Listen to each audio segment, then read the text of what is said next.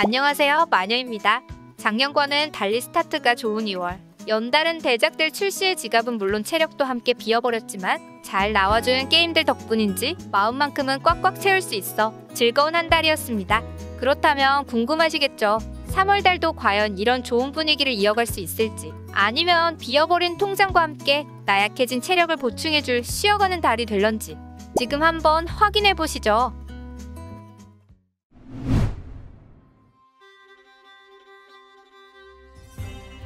정말 오랜만에 느껴보네요. 90년대의 추억을 느낄 수 있게 해주는 작품 트라이앵글 스트레티지가 출시됩니다.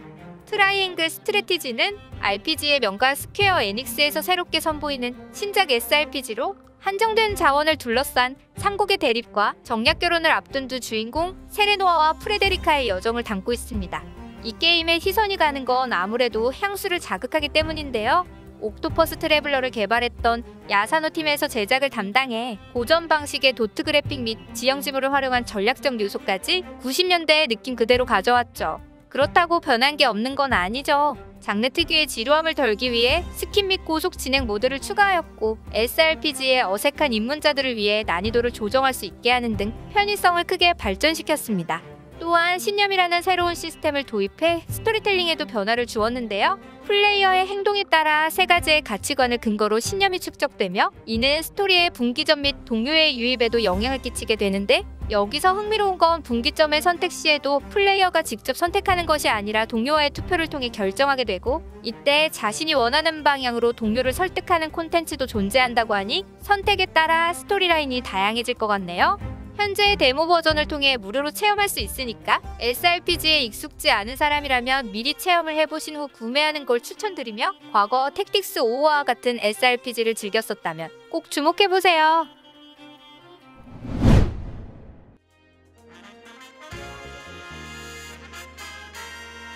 마리오 카트에 스퀘어 에닉스의 마스코트를 집어넣은 게임이죠. 초코보를 주인공으로 하는 레이싱 게임 초코보 GP가 출시됩니다.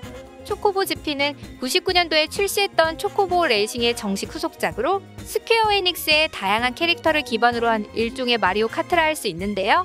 겉모습뿐만 아니라 주행 방법도 마리오 카트와 유사하다 보니 딱 보기엔 짝퉁 아니야? 하고 의문점이 들겠지만 자세히 파고들면 초코보 GP만의 독창적인 시스템이 숨어 있습니다. 바로 마법과 ability 시스템이죠. 주행 도중 획득한 마석을 통해 파이어나 에어로 같은 파판에서 볼 수 있던 마법을 사용할 수 있게 되고 마석을 반복해서 획득하다 보면 더욱 강력한 마법을 사용할 수 있다고 합니다. 또한 주행 도중 게이지를 모으게 되면 ability를 사용할 수 있게 되는데 마법과는 다르게 각 캐릭터마다 고유한 스킬을 가지고 있어 이를 활용해 역전의 기회도 노려볼 수 있다고 하니 마리오 카트보다는 다양한 전략 요소가 숨어 있는 것이죠. 그 외 게임 모드로는 스토리를 즐기는 스토리 모드, 토너먼트로 진행되는 서바이벌 레이스, 자신의 입맛대로 즐기는 custom 레이스 등 다양하게 준비되어 있으며 온라인 및 로컬을 통해 최대 8명까지 멀티 대전을 지원한다고 하네요. 현재 체험판을 통해 무료로 체험해 볼 수 있다고 하니 한번 체험해 보신 후 구매해 보세요.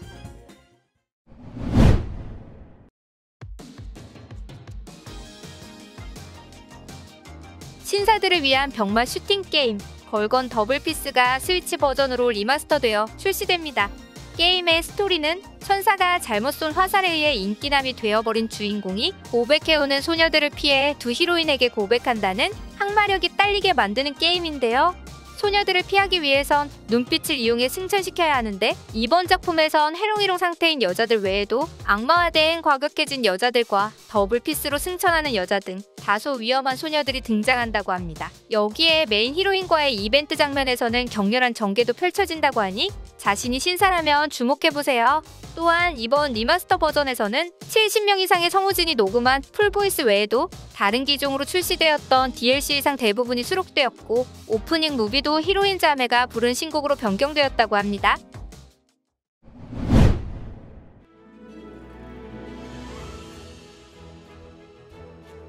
시리즈 30주년 기념작 별의 커비 디스커버리가 이달 25일에 출시됩니다.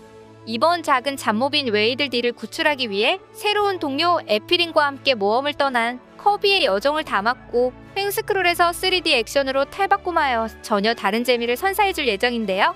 게임에선 마리오 오디세이를 떠올리게 하는 머금기 변형이라는 새로운 기술을 추가해 커비가 다양한 모습으로 변신할 수 있고 자동차를 머금고 신나게 달리거나 자판기로 변해서 캔으로 적을 공격하거나 리프트로 변신해서 높은 곳을 오르는 등 게임 내에 존재하는 다양한 사물로 의태하며 여러 가지 액션을 펼칠 수 있습니다. 또한 웨이들 D를 구조하면 모험의 거점이 되는 마을이 발전되고 마을에 있는 상점을 통해 커비의 특기인 다양한 카피 능력을 바꾸거나 강화할 수 있는데요. 이건 아주 기본적인 거고 웨이들 D를 구출함에 따라 낚시와 같은 다양한 미니게임도 추가된다고 하네요. 참고로 커비는 조이콘을 통한 2인 협력 플레이도 지원하니까 가족 또는 친구들과 함께할 게임을 찾는다면 커비로 좋은 추억을 만들어 보세요.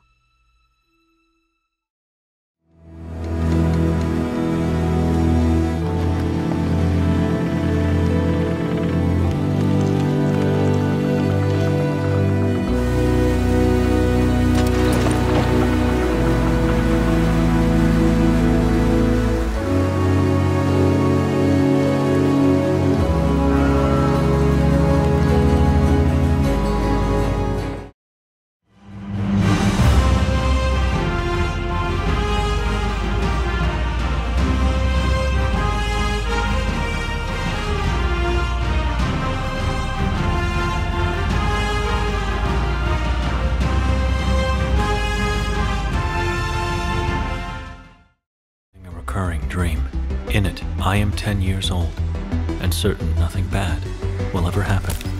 But today, I will. Thankfully, the water is of no danger to us. A secret sign. 2020 beta timeline. What happened here? The attic looked. Although we disappeared, tonight we will witness the hottest battles in all history. This could be explosive!